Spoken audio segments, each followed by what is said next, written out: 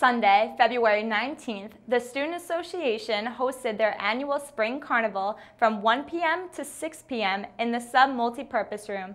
Dynahlee Padilla filed the following report. Student Association, also known as SA, planned this event at the beginning of December. The main reason for putting on this event was to get students to acknowledge who is a part of SA and what the organization does collectively for students. The main purpose of this carnival was to basically let our students know that we are here for them. A lot of people don't know about SA, they don't know who we are. So we wanted to make sure that we had a, had an event where people could come out and say, hey, like this is our student association, we're located on the fourth floor, we're here for you. And even though you may not feel comfortable coming to our office, you know, you can speak to us in here, we'll take all your concerns and we're here for you basically. 250 students stopped by the carnival for popcorn, cotton candy, pizza, wings, games, and prizes. In addition, games such as Jenga and Connect 4 were set up, and stress balls and phone wallets were offered as prizes throughout the day.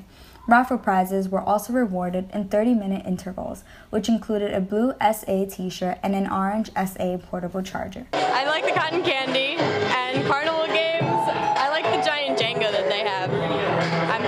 get a black eye from it though. There was also a red, blue, and yellow bouncy castle house that was present. It could fit 12 to 15 people at a time. I think the timing of it, uh, well, today was a beautiful day, thank God, but uh, it's snowing. Like, there's snow outside. There's nothing to do that is. Um, uh, like you, you can't do anything out here. Where um, in the first semester we have so many outings and like barbecues and things like that. So here it's like that, but on the inside. So it's something to do on a weekend. DJ TJ, also known as Ty, played music throughout the entire event and was determined to play songs that brought about good vibes for carnival fun. I absolutely have to play Bad and Bougie by Migos.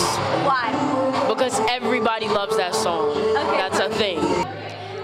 Student Association, the Spring Carnival was available to students. It is SA's first time hosting this event.